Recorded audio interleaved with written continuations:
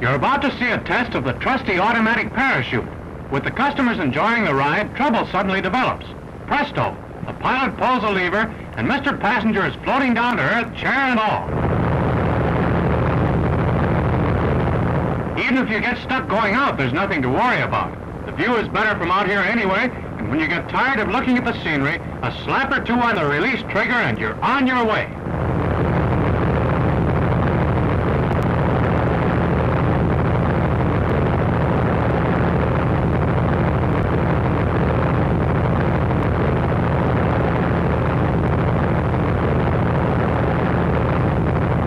This kind of parachuting doesn't even give you a chance to get scared.